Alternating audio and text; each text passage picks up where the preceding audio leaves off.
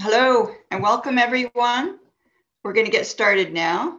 Um, welcome to the Emergency Workplace Organizing Committee's uh, book discussion with three authors and an editor of Labor, Power, and Strategy, uh, book published in January by PM Press.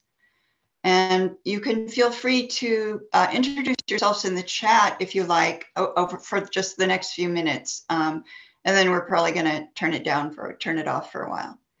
So EWOC uh, is a joint project of the United Electrical Workers, or UE, and the Democratic Socialists of America, DSA. My name is Sally Hayati. I'm a member of the EWOC Labor Education um, team and DSA's National Political Education Committee. Um, after a one hour panel discussion, you are welcome to stay on if you like for a 30 minute audience Q&A session. Um, questions can be submitted using the Zoom chat feature after the end of the panel discussion um, at 9 p.m. Eastern Time. And uh, closed captioning is available uh, for this meeting. Now I'm going to hand it over to the organizer of this event, uh, Eric Dirnbach. Eric? Thanks, Sally. Yeah, I'll just speak for a minute just to frame like wh why we're doing this discussion. I've been you know, worked for a few different unions in the labor movement for over 20 years and something that, you know, in various organizing departments, think about organizing all the time. We all know the crisis of the labor movement, which is that we've been declining, you know, really for 60 years. We're only about 10% of the workforce in the US, 6% in the private sector. Um, and there's been a lot of discussion over the past few decades about what strategies unions should adopt to turn things around knowing, of course, that it's not, not going to be easy under, under any circumstances. Um, and so the book Labor, Power, and Strategy, um, I thought was really interesting uh, because you know not only does it feature, I think, some really interesting ideas from Professor Womack, um, but it solicited responses from 10 activists and scholars who I thought brought a lot of other good ideas. And I think it's just overall a really good conversation um, about lots of different kinds of things that unions should be doing um, and, and responding principally to, to the ideas of Professor Womack around organizing strategic positions. So it's a book that I recommend to folks, even, even folks that are relatively new to unions to get a good sense of lots of different issues and how folks are really grappling with this um, really tough crisis that we're in. Uh, I feel like the labor movement is, is, is in a crisis state because we are just growing, growing way too small. So with that, let me turn it over to Peter, one of the book editors. Um, and I'm going to ask everybody just to introduce themselves. Um, and then we're going to have um, uh, John, uh, Gene, and, Hal, and, um, and Melissa as well. Uh, and then we'll have questions. So I'll turn it over to Peter. Great. Thanks very much, Eric. Uh, I'm Peter Olney. I'm in San Francisco, California, DSA member and retired organizing director of the International Longshore and Warehouse Union. And Eric wrote a great review of our book. And if you don't have time to read the book, the best review to read is his because it gives you the whole book's contents and, and his own perspective. So I would recommend that was published by Jacobin. And thank you to Sally and Daphne for organizing this forum and discussion. I've been inspired by EWOC ever since its founding as a joint project of UE and DSA in 2020. And I was reminded of my passion for EWOC when I saw an op ed in today's New York Times entitled The Belafonte Speech That Changed My Life by Charles Blow, a uh, frequent uh, op ed columnist. And Blow describes hearing the great Harry Belafonte speak in 2013. And Belafonte's talk was a challenge to the status quo in Black politics. And at one point he said, quote, where are the radical thinkers?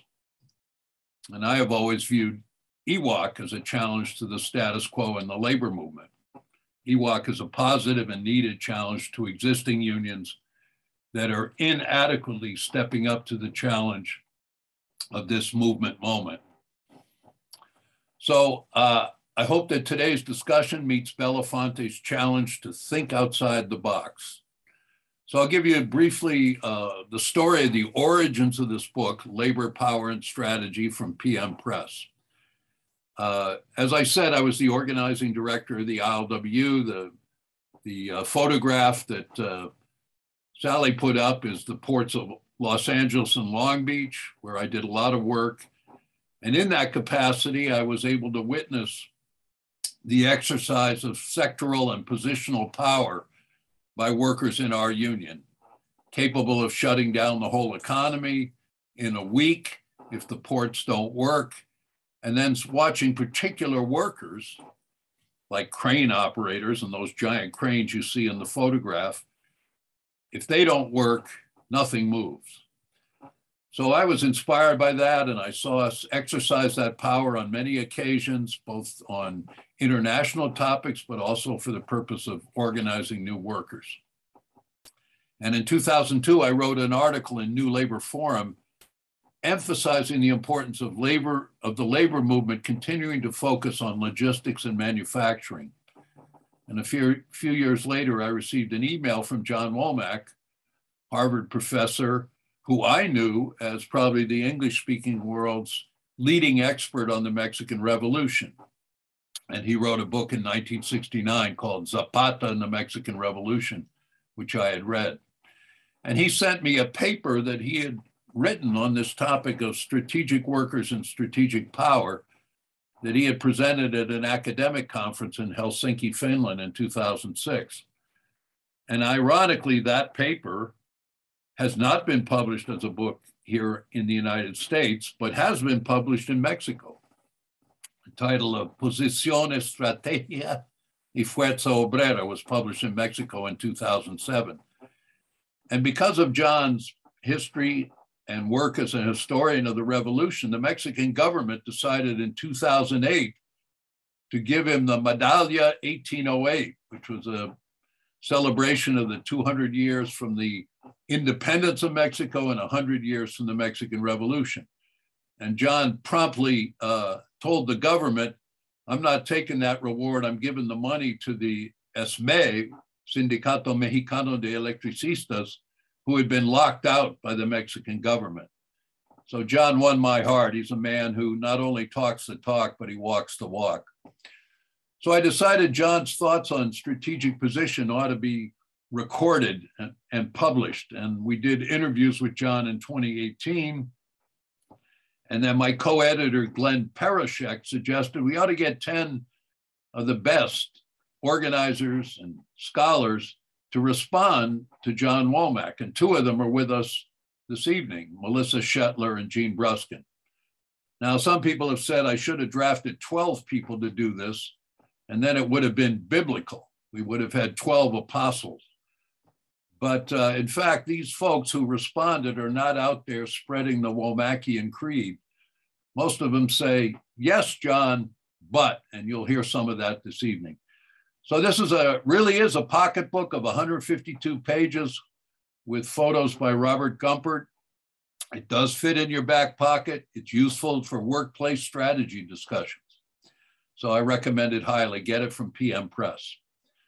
So without further ado, I think we should jump in with uh, John Womack and uh, let him talk a little bit both about how his work in Mexico led him to this topic and give us a brief summary of his thesis and the way he looks at this question of strategic workers and strategic power. John.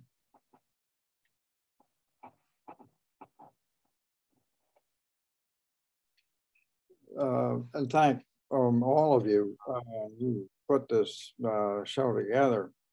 Um, I I think um, well the the book uh, took or this question emerged in my mind uh, because after I wrote that book, my thesis, and it got published on Zapata, uh, I decided to write uh, a book about uh, Mexican industrial labor um, uh, through the same, well, from the 18, from railroads in Mexico in the 1870s uh, to uh, probably up to 1940. And, but in the course of doing some early research in Mexico, um, I was I noticed uh, in 1916 uh, during the revolution uh, in the thick of some of the worst fighting uh, in, in, those 10 years.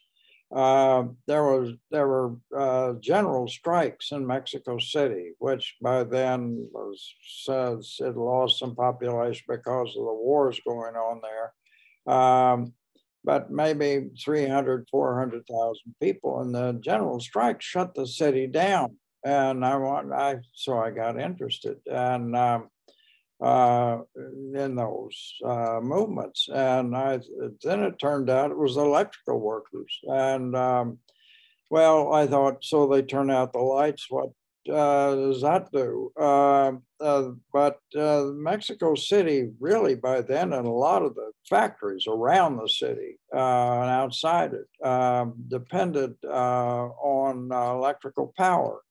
But most important uh, was that there was no Union Station in Mexico City. There were several uh, different uh, train companies, railroad companies that brought trains into the city.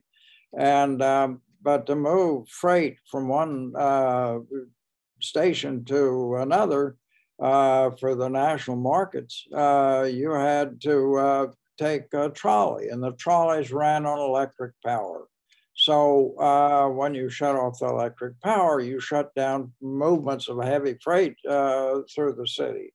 Uh, and it turned out that uh, the, what really mattered was the people, maybe no more than 100 or so, at work in a power plant, the main power plant that fed Mexico City, um, um, about, I don't know, 60 miles north of the city. So when those people stopped work, uh, it shut down a city of 400,000.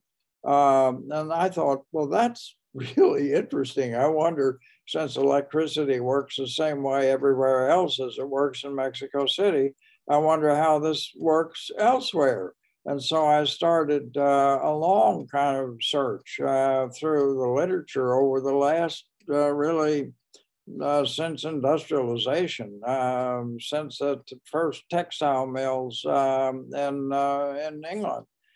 And uh, it turned out uh, that there were uh, a lot of movements of that kind. Uh, there wasn't as much theoretical attention to it, but there were reports of this kind of action. So I started looking into it and um, trying to find out. Uh, and eventually, uh, I started looking into various industries.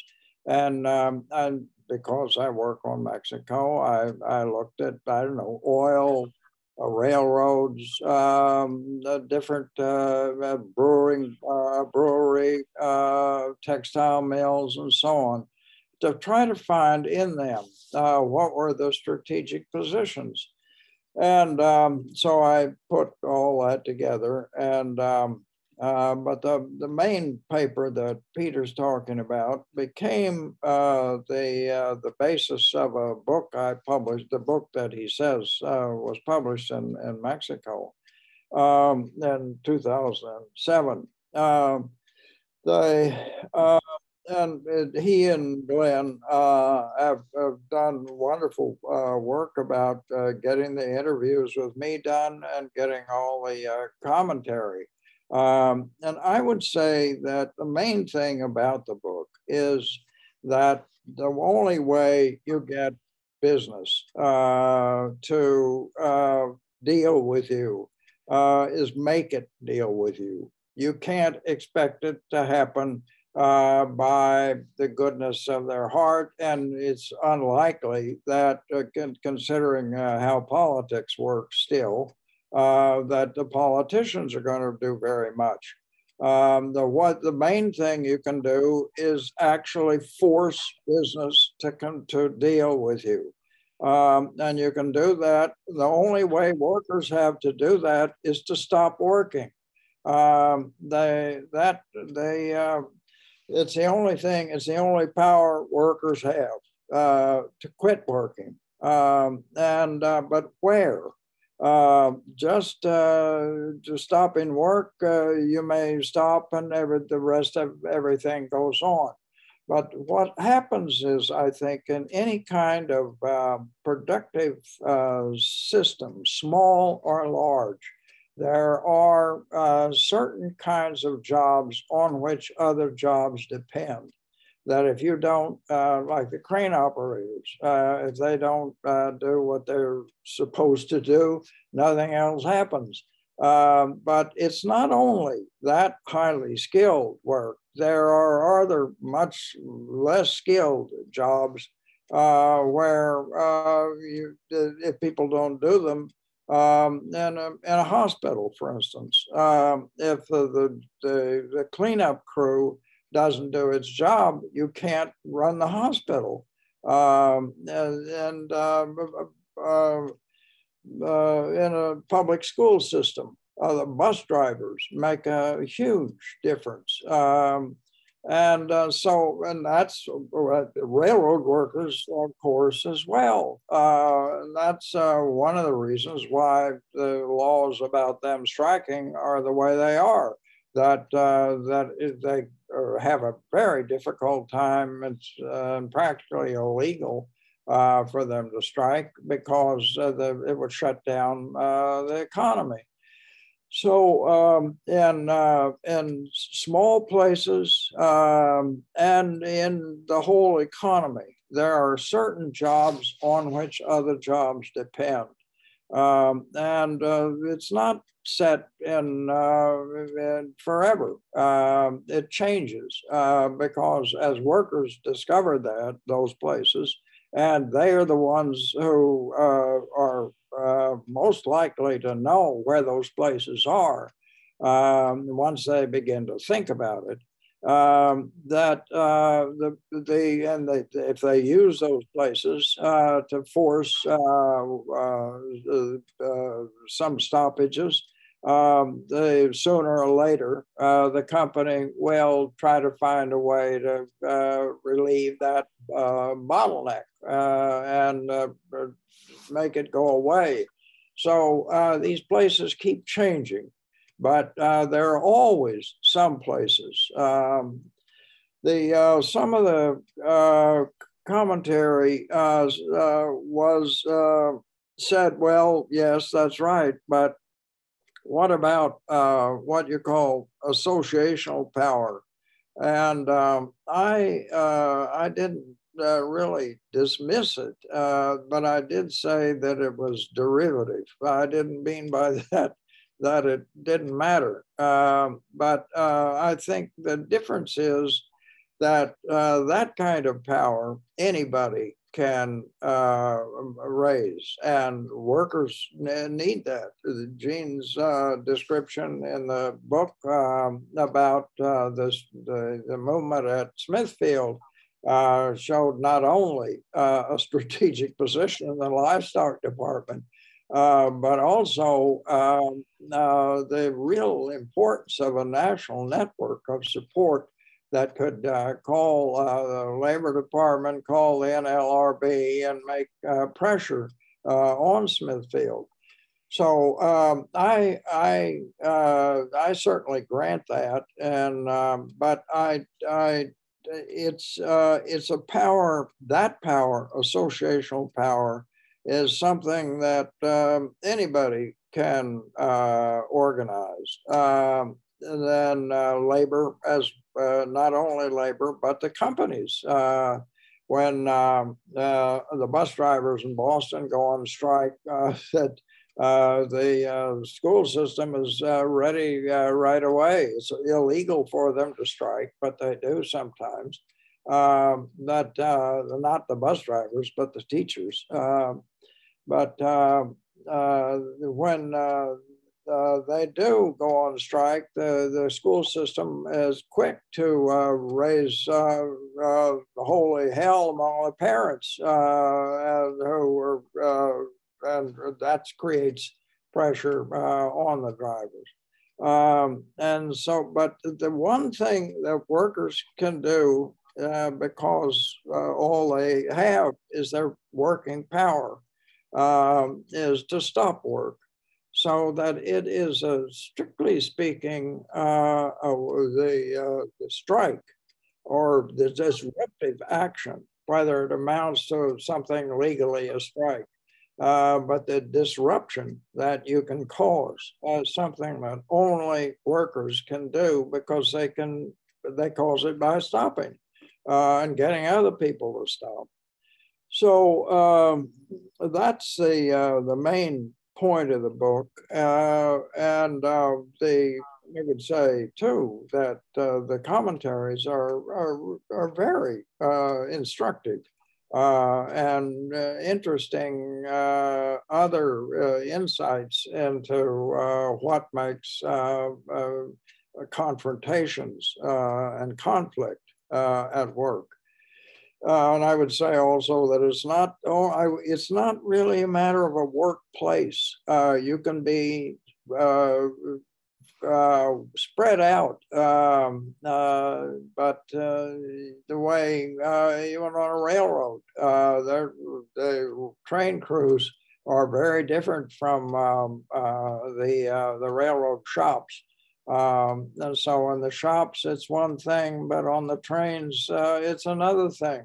But anywhere you can you can stop other people from doing their assigned duties uh, then uh, you have a strategic point and you can raise strategic power there to disrupt and maybe uh, enforce uh, action on the part of your employer. So let well, that's great.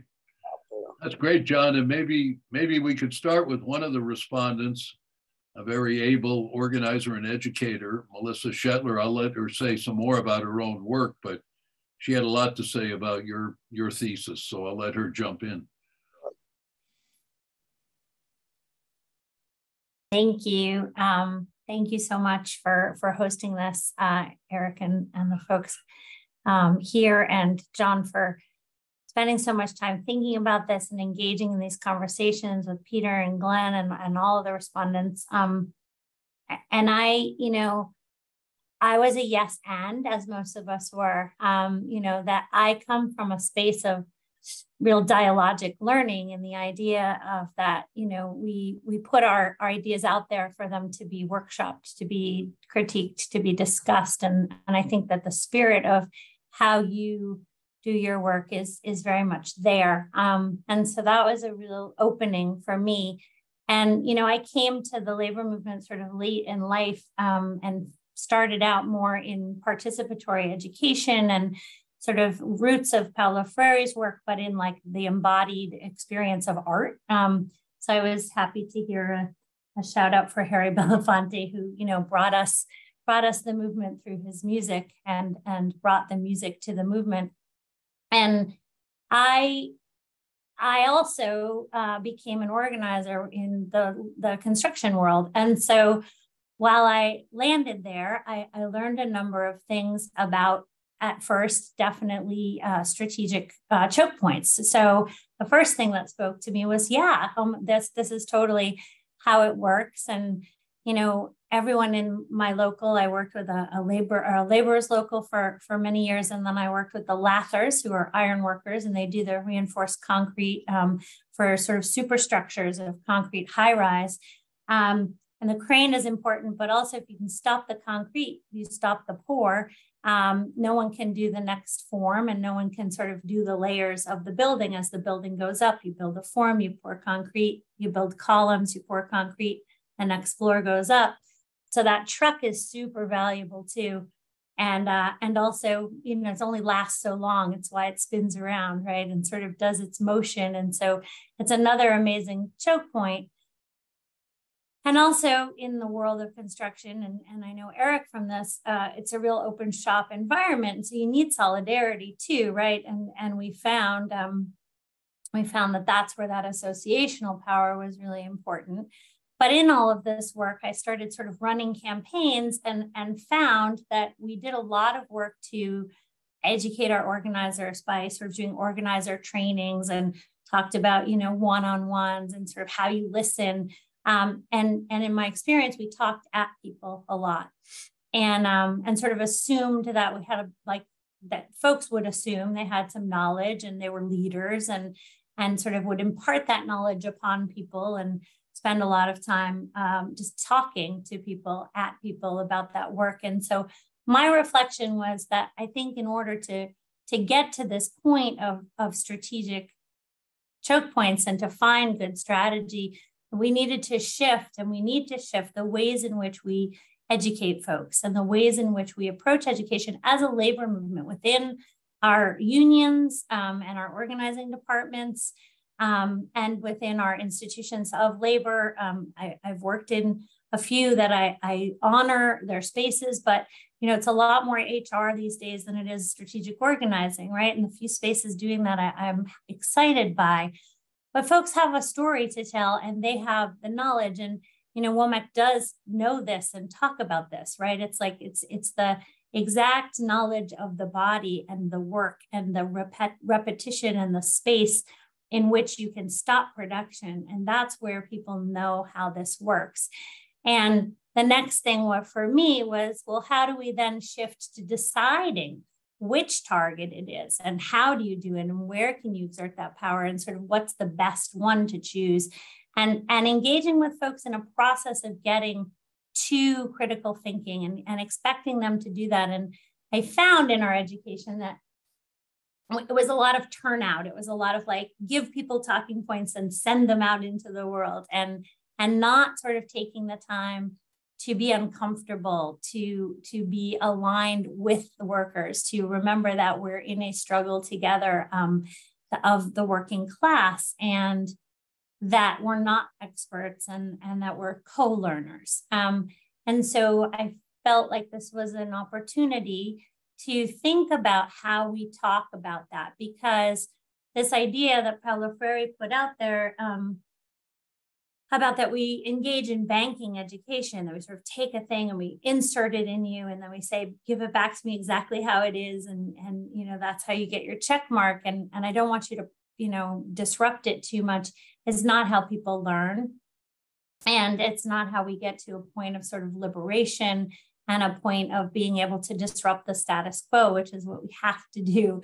Um, and in fact, people need to feel like they themselves are the agents of their own experiences um, and, and understand their own power and learn to make those analyses themselves and, and workshop that stuff. And, you know, one thing I've been thinking about a lot lately as we've been sort of engaging in these conversations around the book, which have been so exciting. And Eric's review was wonderful, and, and other people talking about this is um, I think about the ways that we do organize our trainings with tools, and we sort of talk about maps and, and power analysis and teaching people to create calendars. And you know, this isn't that much different than the work Paulo Freire did and sort of has evolved into uh, in rural communities around literacy. Like we create maps of environments, we use the tools to talk about calendars of agricultural cycles and and you know it's the knowledge of the people that um, that figure out how we do this work so I, I always go back to that and get excited by one yes let's like do more international organizing and a labor college and really reinforce this but let's not like reinforce the idea of experts and subjects and sort of that's like what capitalism has done. Um, and it's done it in art too right? It's like participatory experiences of people making art together versus like and there are some wonderful artists who, who are talented and work hard um, but we've really created this idea of the, the, the, the expert and, and the rest of us are just supposed to sort of be consumers. And so I would bring that into this space as well to just say, um, you know, let's do our education as if all of our, our members are, are experts.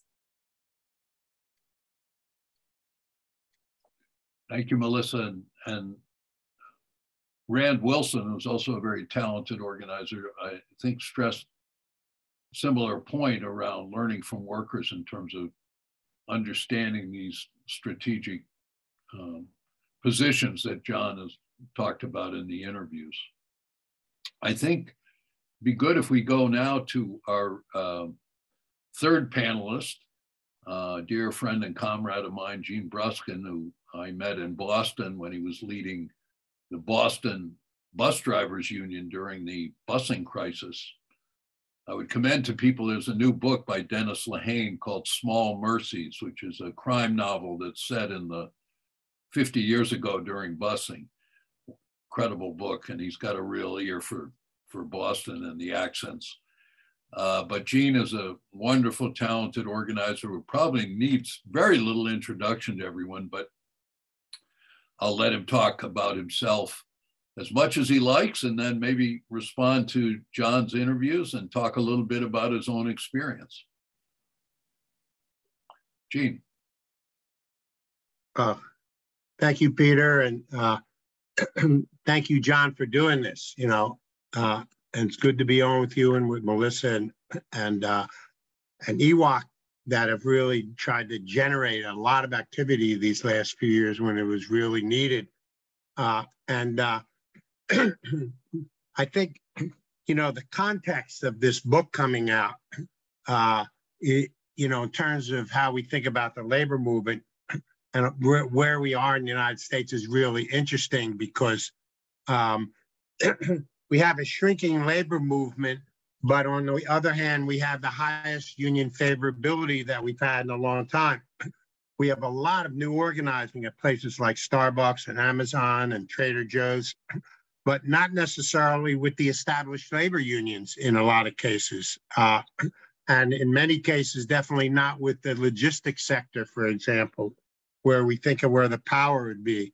And uh, uh, on the one hand, what has sort of been the operating system in this country, you know, since at least the 80s of what we call neoliberalism, you know, market driven uh, uh, system is sort of collapsing. And so, on the one hand, we have uh, the rise of the right, and on the other hand, we have all these people who want to call them who are calling themselves socialists and want to be in the labor movement. And uh, uh, so it it's uh, it it it's it's an important moment, and uh, some of the things that have been happening uh, sort of reflect what I think are some of the best parts of the labor movement trying to figure this stuff out, you know, where you've got this strike at Rutgers where they're bringing multiple unions together and they're striking for the lower paid people. We just saw something like that in uh, where UTLA, uh, the entire UTLA 35,000 people walked out to support SEIU, representing some of the lower paid workers in the system. and you have a teachers union like CTU transforming the city enough that their one of their members becomes the mayor of the third biggest city. Um, and so uh, at the same time, a lot of the AFL-CIO itself, for example, is not in the middle of any of this, but you have this change within the UAW that's happening. And uh, you have a really a, a, new dynamic inside the Teamsters. And as we speak, the UFCW, for the first time in memory, actually has a dissident move inside of their convention right now, where there are uh, a whole emerging sort of TDU-like movement calling for one member, one vote, uh, and more power and involvement of the workers. So uh, this is an important moment, and John raises the issue of power, and power is not usually something that the labor movement talks about. You know, uh, we talk about power only to the point of trying to get a contract, you know, or trying to get the Democrats uh, elected. But yet, uh, um, really, we all know that, first of all, the Democrats' uh, power is sort of dependent on us. We just don't act that way. And the, and the economy of our country is dependent on us, but we don't act that way as a labor movement, and most workers don't see it that way. So this question of how do we flip that? Um, and what John is sort of raising is uh, the ability and the power that we have to actually disrupt the operations of this country. Uh, and, uh, you know, I, I, think we saw just the glimmers of that when the railroad unions were threatening to go out, uh, that uh, there was almost a total panic. But one of the articles in the book, interesting enough, is from Carey Dall, who is the national organizing director for the uh, uh, building and maintenance of way employees. And his job primarily was to build the activity of the membership, which was a really dead membership when he came in, but found that if you give people the right training and the right kind of support, that uh, people that even haven't been involved for many years will get involved. So to begin to even think of doing the kind of things that John lays out, we have to do the kind of things that uh, that uh, we just heard of uh, in terms of from what Melissa's talking about. We got to educate our members in a real way. Uh, in terms of choke points, uh, I think that we could say that probably every workplace in the country, we thought about it enough, there are some choke points. And by choke points means I think of that group or those workers who, without having even having to have every single person involved, could possibly shut the place down. Uh, and the, the experience like that that I uh, wrote about in the book, uh, provoked by John's uh, question here was when I was working at the organizing the uh, packing house workers at Smithfield, North Carolina. they kill 32,000 hogs a day. It's the biggest meat packing plant in the world. And there's constant turnover. And this is a question people ask me all the time you know, from Amazon and everywhere else. How do you possibly organize when there's constant turnover? Well, uh, you don't, maybe you don't capture everybody all at once, but that doesn't mean you can't move things. At Smithfield, we found out that in the livestock department, which is where these 32,000 hogs enter the plant every day, there's 90 workers, and their job is to take these hogs, these mad hogs running off the truck from nine years in a cage, and somehow put them through these ramps and, and get them lowered down to the kill floor. And uh, if they don't do that, then there's no work for the rest of the plant. And these guys came to us and said they weren't getting warm water and soap to wash their hands and clean drinking water. And uh, so we decided that was a choke point. And we got the some of our leaders inside the plant uh, to begin working with people. And we went with some of those workers and visited all 90 workers at home. And they put in a petition to the boss, and the boss said, not surprisingly, go to hell but we'll meet with you one on one. And so they uh, uh, they picked the time, and all 90 workers just sat down. And uh, as you can imagine, it's easy to get those 90 those uh, hogs off the truck when you just open the door. But once they're off that truck, it's really hard to get them back in that truck. They don't cooperate, and so it created a panic, and hundreds of trucks are lined up. Immediately when the workers sat down, that's all they did. They just sat down, took out a cigarette or whatever. Uh, then they called OSHA and they said, excuse me, OSHA, but in the biggest plant in the world here in North Carolina, uh, we're sitting down because of these atrocious conditions. You ought to come over. And then they picked up the phone and called the media and said, uh, hey, you know, they got a pretty good story here. Let me pass it to another worker. Uh, Meanwhile, on the outside, we were bombarding them with what John calls an associative power, all the allies they had. We had hundreds and hundreds of people calling them, emailing them, uh, just overflowing their uh, uh, communication system. And Reverend Barber showed up with some ministers and some people from the community to pray for warm water and soap uh, in front of the plant and it shut down. Within 48 hours, within 24 hours, the company had caved. Within 48 hours, they had built a new facility inside there, uh, like a lunchroom, right there on the uh, uh, in that area of the plant. Only 90 people out of 5,000 participated, but it terrified the company and it inspired people in the rest of the plant. Uh, and we tried to start doing that in some of the other key departments. Uh, it wasn't the only key department, but it was a really uh, important one. And so I think part of the whole question here is uh, what what I think a lot of us call class consciousness. And uh, I think of the class consciousness as this sense of like who has the power. And I think the average worker, and unfortunately, a lot of times the union, we have the perspective that the boss has the power and we need the boss because we need a job. But the truth is, the boss needs us. And that is the flip for class consciousness that we need to do in order to be able for workers to really begin to feel powerful And I'll just end on a quick story that I've told in some of these uh, uh, these conversations here of a banquet waiter. And the banquet waiter uh, was serving one of these huge banquets, and uh, you know, hotel worker, unionized guy, and he his job was to put out the bread and the butter.